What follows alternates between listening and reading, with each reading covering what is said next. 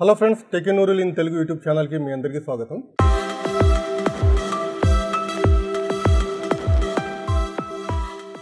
So friends finally MIUI లెవెన్కి app driver update అనేటువంటిది వచ్చేసింది. కాకపోతే కొన్ని మోడల్స్కి రిలీజ్ వెర్షన్ అప్డేట్ అనేటువంటిది వచ్చింది. కొన్ని మోడల్స్కి వచ్చేటప్పటికి డెవలపర్ వెర్షన్ అప్డేట్ అనేటువంటిది వచ్చింది. సో దాంతోపాటు ఎస్ఎంఎస్ అప్లికేషన్కి సంబంధించినటువంటి ఒక కొత్త అప్డేట్ కూడా వచ్చింది. సో ఈరోజు వీడియోలో మనం యాప్ డ్రైవర్కి సంబంధించినటువంటి కంప్లీట్ ఫీచర్స్ అలాగే ఎస్ఎంఎస్ అప్లికేషన్కి సంబంధించినటువంటి అప్డేట్ గురించి మాట్లాడుకుందాము. ఈ అప్డేట్ వచ్చేటప్పటికి లేటెస్ట్ సిస్టమ్ లాంచర్ అప్డేట్తో వస్తుంది. ఇది ఆటోమేటిక్గా వచ్చేస్తుంది. ఒకవేళ రాకపోయినట్లయితే మీరు సెట్టింగ్స్లోకి వెళ్ళి చెక్ చేసుకోండి. సెట్టింగ్స్లో ఇక్కడ సిస్టమ్ యాప్స్ అప్డేటర్ అనేటువంటి ఒక ఆప్షన్ కనబడుతుంది. దీన్ని సెలెక్ట్ చేసుకోవాలి. ఏమైనా అప్డేట్స్ ఉన్నట్లయితే ఇక్కడ కనబడతాయి. So tap to view update history దీని కనుక సెలెక్ట్ చేసుకున్నట్లయితే మీ సిస్టమ్ లాంచర్ అప్డేట్ అయిందా లేదా తెలిసిపోతుంది. అలాగే ఇక్కడ మెసేజింగ్ యాప్కి సంబంధించినటువంటి ఒక అప్డేట్ కూడా వచ్చేసింది. ఎంఐయూ ఎలెవెన్ ఏ ఫోన్స్లో అయితే రన్ అవుతుందో మోస్ట్ ఆఫ్ ది ఫోన్స్కి యాప్ డ్రైవర్ అప్డేట్ అనేటువంటిది వచ్చేసింది. సో ఒకసారి సిస్టమ్ లాంచర్ అప్డేట్ వచ్చిన తర్వాత యాప్ డ్రైవర్ బై డిఫాల్ట్గా ఎనేబుల్ కాదు దాన్ని మనం మాన్యువల్గా ఎనేబుల్ చేసుకోవాలి. సో దానికోసం మనం సెట్టింగ్స్లోకి వెళ్ళాల్సి ఉంటుంది. సెట్టింగ్స్లో హోమ్ స్క్రీన్ ఆప్షన్లోకి వెళ్ళాల్సి ఉంటుంది. ఇక్కడ హోమ్ స్క్రీన్ సెలెక్ట్ చేస్తున్నాను. ఇక్కడ మళ్ళీ హోమ్ స్క్రీన్ అనేటువంటి ఆప్షన్ కనబడుతుంది. సో దీన్ని సెలెక్ట్ చేసుకోవాలి. ఇక్కడ మనకి రెండు ఆప్షన్స్ కనబడతాయి రెగ్యులర్ అలాగే with app drawer so app డ్రైవర్ని ఎనేబుల్ చేయాలంటే సెకండ్ ఆప్షన్ సెలెక్ట్ చేసుకోవాలి using app drawer okay. So ఇప్పుడు యాప్ డ్రాయర్ ఎనేబుల్ అయిపోతుంది అనమాట సో ఇప్పుడు మనం హోమ్ స్క్రీన్లోకి వచ్చి చూద్దాము. సో యాప్ డ్రాయర్ని చూడాలంటే మనం పైకి స్వైప్ చేయాల్సి ఉంటుంది. So app drawer user interface ఈ విధంగా కనబడుతుంది అనమాట సో ఇక్కడ మనం కింద కనుక చూసుకున్నట్లయితే సెర్చ్ బార్ అనేటువంటిది కనబడుతుంది. దీని వాడి మనం యాప్స్ని సెర్చ్ చేయొచ్చు. ఫర్ ఎగ్జాంపుల్ ఫ్లిప్కార్ట్ని సెర్చ్ చేస్తున్నాను. సో ఫ్లిప్కార్ట్ అని చెప్పేసి వచ్చేసింది చూడండి. అలాగే ఇక్కడ పైన మనకి కొన్ని ట్యాప్స్ అనేటువంటి కనబడతాయి. వీటిని మనం కేటగిరీస్ అని చెప్పేసి అంటాం. అంటే అప్లికేషన్స్ మొత్తం కేటగరైజ్ అయిపోయి ఉంటాయి. ఈ కేటగరైజేషన్ అనేటువంటిది ఆటోమేటిక్గా జరిగిపోతుంది. ఇంట్రెస్టింగ్ విషయం ఏంటంటే కేటగరైజేషన్ వచ్చేటప్పటికి ఆల్మోస్ట్ యాక్యురేట్గా జరిగింది. సో ఇక్కడ మీరు చూడొచ్చు షాపింగ్ కేటగిరీలోకి వెళ్ళి చూసినట్లయితే ఇక్కడ షాపింగ్ సంబంధించినటువంటి అప్లికేషన్స్ మొత్తం కనబడతాయి. అలాగే గేమ్స్లో కనుక వెళ్ళి చూసినట్లయితే ఇక్కడ గేమ్స్ మొత్తం కనబడుతుంది. సో ఫస్ట్ సెక్షన్ వచ్చేటప్పటికి ఆల్ అనమాట ఇక్కడ అన్ని అప్లికేషన్స్ కనబడతాయి. సో ఇక్కడ మిగతావన్నీ కేటగిరీస్ ఈ కేటగిరీస్ని మనం ఎడిట్ కూడా చేయొచ్చు. ఎడిట్ అంటే కేటగిరీలోంచి ఒక అప్లికేషన్ రిమూవ్ చేయొచ్చు లేకపోతే ఒక అప్లికేషన్ యాడ్ చేయొచ్చు. ఫర్ ఎగ్జాంపుల్ ఫోటోగ్రఫీ కేటగిరీని ఎడిట్ చేయాలనుకోండి. సో ఇక్కడ మనకి ఎడిట్ అనేటువంటి ఆప్షన్ కనబడుతుంది. దీన్ని సెలెక్ట్ చేయాలి. సో ఇక్కడ మనకి రెండు సెక్షన్స్ కనబడతాయి. సో ఫస్ట్ సెక్షన్లో ఏంటంటే ఆల్రెడీ కేటగిరీలో ఉన్నటువంటి అప్లికేషన్స్ కనబడతాయి. సెకండ్ సెక్షన్లో అన్ని అప్లికేషన్స్ కనబడతాయి. ఫర్ ఎగ్జాంపుల్ మనం ఫొటోస్ని రిమూవ్ చేయాలనుకోండి దాన్ని డీసెలెక్ట్ చేయాలి. డీసెలెక్ట్ చేసినట్లయితే అప్లికేషన్ రిమూవ్ అయిపోతుంది. అలాగే కొత్త అప్లికేషన్ ఏదైనా యాడ్ చేయాలంటే కింద సెక్షన్లో అప్లికేషన్ని సెలెక్ట్ చేసుకోవాలి. ఫర్ ఎగ్జాంపుల్ అమెజాన్ షాపింగ్ని యాడ్ చేయాలనుకుంటున్నాను. దీన్ని సెలెక్ట్ చేయాలి. ఇది ఆ కేటగిరీలోకి యాడ్ అయిపోతుంది. సో యాడ్ అయిన తర్వాత ఓకేని సెలెక్ట్ చేసుకోవాలి. సో ఇక్కడ చూడండి ఫోటోగ్రఫీ కేటగిరీలో అమెజాన్ షాపింగ్ వచ్చేటప్పటికి యాడ్ అయిపోయింది. అలాగే ఫొటోస్ అనేటువంటి అప్లికేషన్ రిమూవ్ అయిపోయింది. సో ఈ విధంగా ఏంటంటే మనం కేటగిరీస్ని ఎడిట్ చేసుకోవచ్చు. కాకపోతే కూడా లిమిటేషన్ ఉంది. అదేంటంటే ఒక కేటగిరీ నుంచి ఇంకో కేటగిరీకి డైరెక్ట్గా మూవ్ చేయలేము. సో దానివల్ల ఏంటంటే మనం సో ఇక్కడ మనం అప్లికేషన్ కేటగిరీని మార్చాలంటే ఫస్ట్ అప్లికేషన్ని ఎగ్జిస్టింగ్ కేటగిరీ నుంచి డిలీట్ చేయాలి. ఆ తర్వాత కొత్త కేటగిరీలోకి వెళ్ళి దాన్ని మళ్ళీ మనం యాడ్ చేసుకోవాలన్నమాట. ఇది కొంచెం లెందీ ప్రాసెస్. సో డైరెక్ట్గా మూచేసేటటువంటి ఆప్షన్ కూడా ఇవ్వాల్సింది. సో ఒకసారి యాప్ డ్రాయర్ని ఎనేబుల్ చేసిన తర్వాత హోమ్ స్క్రీన్ మీద మనకి లిమిటెడ్ యాప్స్ అనేటువంటి కనబడతాయి. సో మనం ఏదన్నా అప్లికేషన్కి సంబంధించినటువంటి షార్ట్ కట్ హోమ్ స్క్రీన్ మీద క్రియేట్ చేయాలనుకోండి. సో యాప్ డ్రాయర్ ఓపెన్ చేసి పర్టికులర్ యాప్ని సెలెక్ట్ చేసి డైరెక్ట్గా డ్రాగ్ చేసి హోమ్ స్క్రీన్ మీద డ్రాప్ చేయాల్సి ఉంటుంది. So for example Book My Show short కట్ని హోమ్ స్క్రీన్ మీద క్రియేట్ చేయాలి. దాన్ని సెలెక్ట్ చేసి డ్రాక్ చేసి హోమ్ స్క్రీన్ మీద డ్రాప్ చేయాల్సి ఉంటుంది. సో ఇలా డ్రాప్ చేసినట్లయితే షార్ట్ కట్ అనేటువంటిది ఈ విధంగా క్రియేట్ అవుతుంది.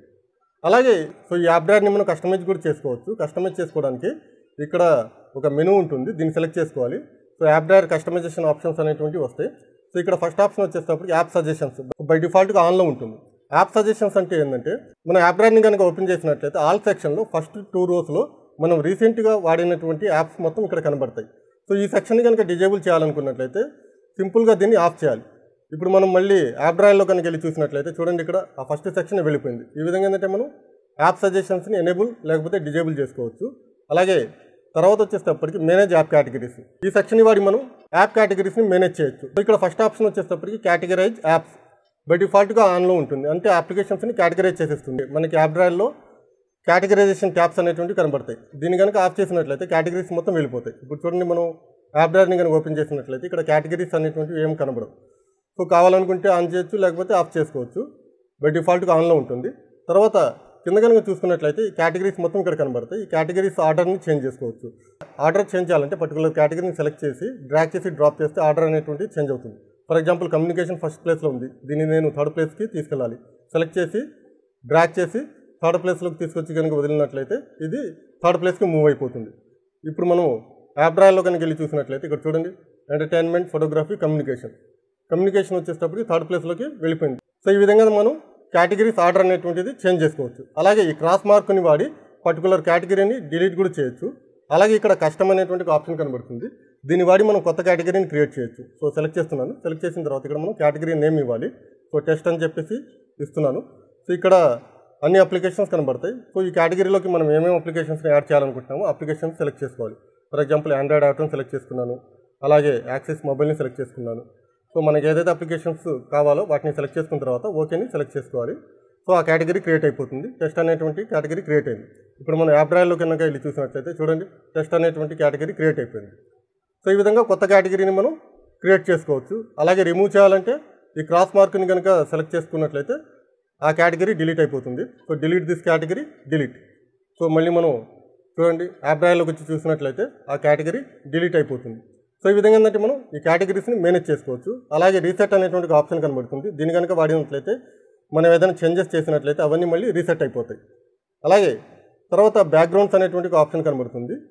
సో దీన్ని వాడి మనం యాప్ బ్యాక్గ్రౌండ్ని చేంజ్ చేసుకోవచ్చు. బై డిఫాల్ట్గా సిస్టమ్ బ్యాక్గ్రౌండ్ ఉంటుంది. సిస్టమ్ బ్యాక్గ్రౌండ్ అంటే ఏంటంటే మనకి ఆపరేటింగ్ సిస్టమ్లో ఏదైతే బ్యాక్గ్రౌండ్ ఉందో అదే బ్యాక్గ్రౌండ్ వస్తుంది. అంటే మనం ఆపరేటింగ్ సిస్టంలో డార్క్ మోడ్ని ఎనేబుల్ చేసామనుకోండి యాప్ కూడా డార్క్ మోడ్లోకి చేంజ్ అయిపోతుంది. అలా కాకుండా మనం యాప్ డ్రైవర్ కోసం స్పెసిఫిక్ బ్యాక్గ్రౌండ్ కావాలనుకున్నట్లయితే ఇక్కడ సెలెక్ట్ చేసుకోవచ్చు. లైట్ అలాగే డార్క్ అని చెప్పేసింది.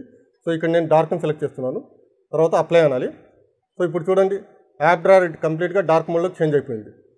సో ఈ విధంగా ఏంటంటే మనం బ్యాక్గ్రౌండ్ని చేంజ్ చేసుకోవచ్చు. అలాగే ఇక్కడ app drawer background transparency by డిఫాల్ట్గా జీరో ఉంటుంది.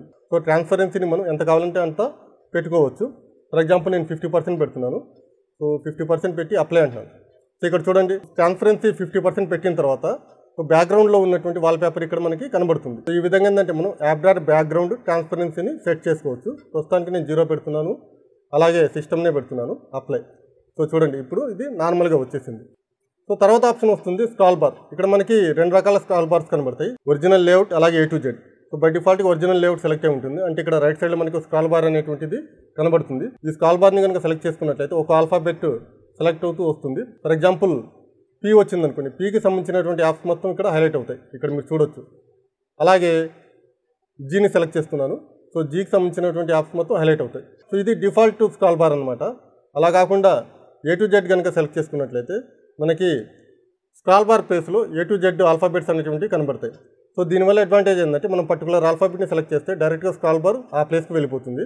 సో వ్యూని సెలెక్ట్ చేస్తున్నాను. చూడండి అక్కడికి వెళ్ళిపోతుంది ఇది. అలాగే జెడ్ని కనుక సెలెక్ట్ చేస్తే డైరెక్ట్గా జెడ్ దగ్గరికి వెళ్ళిపోతుంది. ఏని సెలెక్ట్ చేస్తే డైరెక్ట్గా ఏ దగ్గరికి వస్తుంది.